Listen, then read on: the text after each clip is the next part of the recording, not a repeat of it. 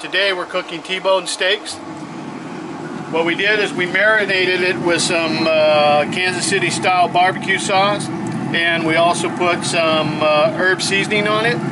We're going to cook it for about uh, 8 to 10 minutes on one side then we're going to flip them again for about 8 or 10 minutes. We're at we're at about 400 degrees. I've set the uh, temperature setting just almost to high, which again, that'll be somewhere when it comes back up to heat will be around 400, four and a quarter, in eight to 10 minutes. It's been 10 minutes. You can see they're getting some pretty good color to them.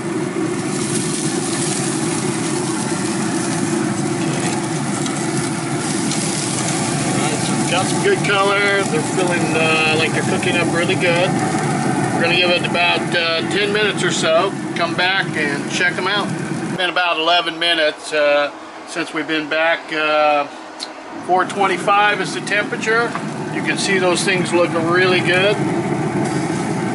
So let's go ahead and pull one of these off. Look inside. So they've been cooking for about uh, 22 minutes altogether. They look really nice. Can see they're really, really juicy.